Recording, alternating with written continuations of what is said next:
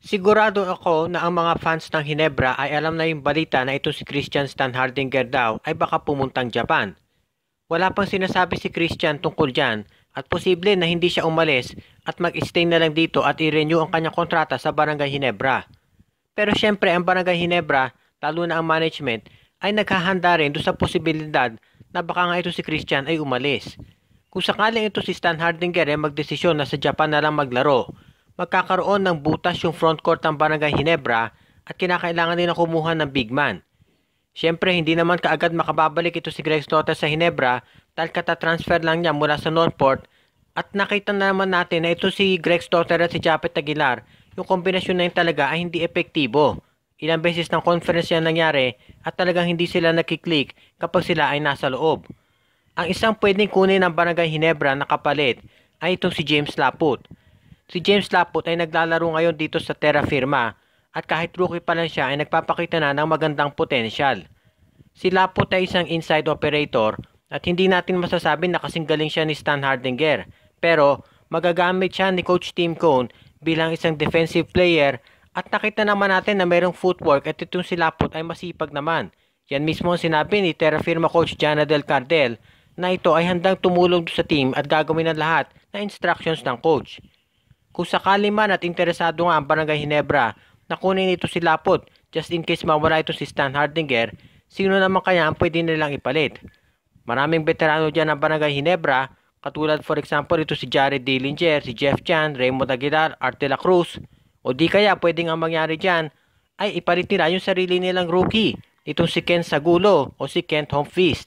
Magiging isang big man din yan para sa Terra Firma at kung sakasakali ay baka magkaroon na ng isang player ang Barangay Hinebra na pwedeng pumalit kay Stan Hardinger kung ito nga ay hindi nababalik o magdesisyon na umalis na ng Pilipinas papuntang Japan. Bukod dito kay Von Pesumal at kay Paul Samar, ang itinitignan pa ng SMB na pwede nilang i-trade ay itong si Alfonso Gotladera, James Sena at itong si Wendell Comboy. Itong si Sena si Gotladera kinuha yan ng SMB para maging backup ni Junmar Fajardo Iyan ay sinabi mismo ni Coach Leo Austria at team manager G. Abanilla. Pero nakikita naman natin dito sa serye ng TNT, maski na sa playoffs laban sa Northport Batampier, na halos hindi talaga ginagamit yan. At ginawa na ni Coach Leo Austria na ang rotation niya ay ito si Santos, Sautua at si Fajardo. Maski ito si Bambam Gamalinda na ginagamit nilang power forward ay wala sa posisyon dahil ang laro naman talaga niyan ay small forward. So malamang ang mga players na nabanggit ay i-trade na ng San Miguel. Ang tanong ay kung saan sila mapupunta at kung ano ang player na makukuha ng SMB na kapalit para dyan. Siyempre, ang San Miguel ay hindi gagawa ng trade habang sila ay nakikipag-playoff sa TNT. Pero pagtatapos ang konferensya na ito, manalo man sila ng kampyonato o hindi, asahan natin na magkakaroon ng player movements dyan dahil kitang-kita naman dito sa serye na kulang talaga ang San Miguel Beer ng isang player para maging karelyebo nito si Arwin Santos o ni Junmar Fajardo. Ito si Gotladera, Sena at itong si Bambam Gamalinda, isama mo na rin si Comboy, ay pwede na gamitin na San Miguel na pang trade. Pero sa ngayon, hindi pa natin masasabi kung ano ang magiging trade value nila dahil syempre nakadepende yan kung ano rin ang player na gusto makuha ng San Miguel Beer. Syempre kung gustong kunin ng San Miguel Beer, halimbawa ito si Malonzo, kailangan syempre mas mataas na kalibreng player ang ipamigay nila dahil malamang ay hindi yan aprubahan ng PBA. Pero kung backup player din ang kukunin nila na isang big man, malamang ay makuha nila yon nang hindi ginigive up yung mga top players nila.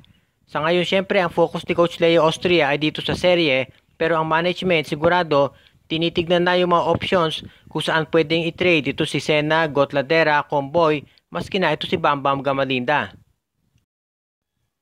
Ayon mismo dito sa TNT Tropang Giga, Nagkaroon ng fractured cheekbone itong si Poy Eram pagkatapos siyang ma-injure doon sa Game 4 ng labanan ng San Miguel Beer at ng TNT Tropang Giga. Sa ngayon, hindi pa maliwanag ang sitwasyon itong si Poy Eram kung siya ay makapaglalaro para sa Game 5 pero malamang kung maglalaro man si Eram, siya ay magsusuot ng maskara katulad ng ginagawa ng mga players kapag sila ay nagkaka-injury. Hindi pa rin maliwanag kung ito si Kelly Williams ay cleared na para ba maglaro pero kung sakasakali na clear na nga ito si Kelly Williams at mag-suit up ito si Poy Eram, malaking bagay yan para dito kay Coach Chot Reyes.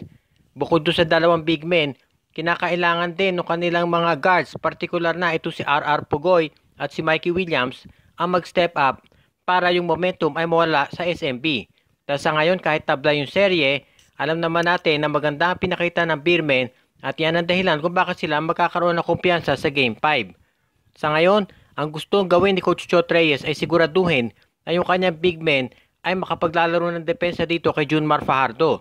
Kung hindi man makapaglaro ng 100% si Era, kailangan mag-step up itong si Dave Marcelo at si Troy Rosario at iwasan yung foul trouble. Pagdating naman sa scoring, kinakailangan ito si Mikey Williams ay maging mas maganda ang shooting percentage. Kitang-kita dito sa serye na ito na nahihirapan talaga si Mikey sa depensa ni Chris Ross. Kaya yan ang dahilan kung bakit napakarami niyang mga mintis kahit siya ay nakaka-double figures. Samantala ito si RR Pugoy, ang ganda ng inilaro niya doon sa previous games nila, uma-average ng mahigit 20 points pero dito sa game 4 ay 2 points lang ang na-shoot niya. At ito si Jason Castro hindi din masyadong nakapag-contribute.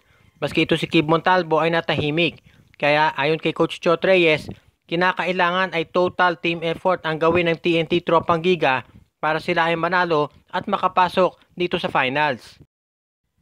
Hindi na nakapagtataka na itong si Calvin Abueva ang nangunguna sa best player of the conference dahil ang laki ng naiitulong niya sa Magnolia Pambansang Manok Isang panalo na lang ng Magnolia at nasa finals na sila at malaking bagay dyan ay dahil sa laro ni Calvin Abueva. Nung lumipat si Abueva dito sa Magnolia, marami ang nagdududa kung makatutulong ito dahil alam naman natin na meron diyang risk. Pero ang ganda ng response ni Abueva at ngayon isa siya sa mga top players ng Magnolia Hotshots. Sinabi ni Coach Chito Victorero na maganda ang nagiging chemistry nito si Abueva at ng teammates niya, partikular na si Ian Sanggalang na alam natin na nung college days pa nila ay meron na silang koneksyon. Itong si Calvin Abueva, bukod dito sa kanyang pagiging scorer, ay rebounder at magaling din sa depensa at hustle. Maraming nagagawa si Abueva para sa Magnolia na hindi nakikita sa statistics pero kitang-kita naman at nalalaman ng mga coach. Ang kalaban ni Abueva dito sa best player of the conference ay ito si Robert Bolick at Mikey Williams. Pero ito si Robert Bolick ay na-eliminated na ang Northport at si Mikey Williams ay nag struggle dito sa TNT. Kaya kung makapasok sa finals sa Magnolia, malamang na malamang itong si Abueva ang maging best player of the conference. At napakagandang comeback niyan considering ang tagal niya na nawala. Ang goal daw ni Abueva ngayon, sabi ni Coach Chito Victolero, ay tulungan ang Magnolia na una makapasok sa finals at pangalawa maging kampiyon. Kung sakali man at makapasok ang Magnolia sa finals, ang makakaharap nila ay either TNT or San Miguel Beer at sigurado na magiging mahigpit yung laban dyan. Ganun pa man sinabi ni Coach Victolero na gagawin nila ang lahat para masiguro na sila kung makapasok man sa finals ay magiging preparado at ito si Calvin Abueva ang isa sa magiging susi kung sila ay magtatagumpay.